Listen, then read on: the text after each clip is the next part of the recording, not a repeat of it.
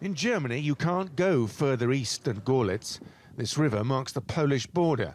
Today, carefully restored architecture speaks of a rich history, but there are echoes of the recent communist past too.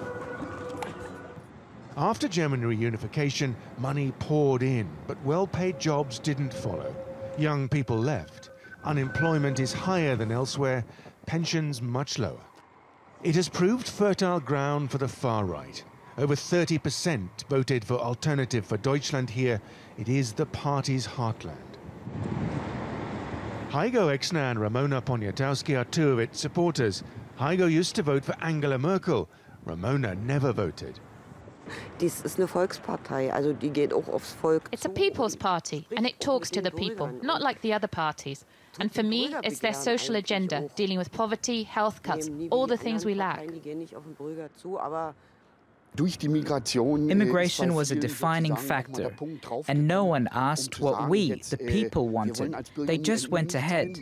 And for me personally, 2015, I thought this country was going under. Opposition to the mass migration of 2015 is the usual reason given to explain the AFD's success.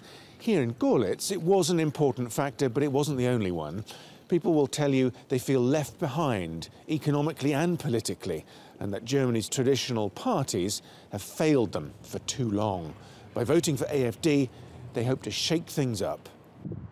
Sebastian Wippel, Görlitz born and bred, now represents the party in Saxony's regional parliament in Dresden. The AfD is not a racist party. AfD is first and foremost a German party.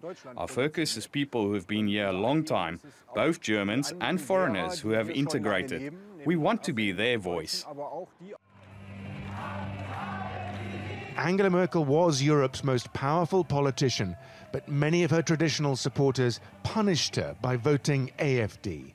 As a result, she's now struggling to put together a new coalition with the left of centre SPD. Even if she succeeds, her new government is unlikely to deliver the radical policies voters in Görlitz want.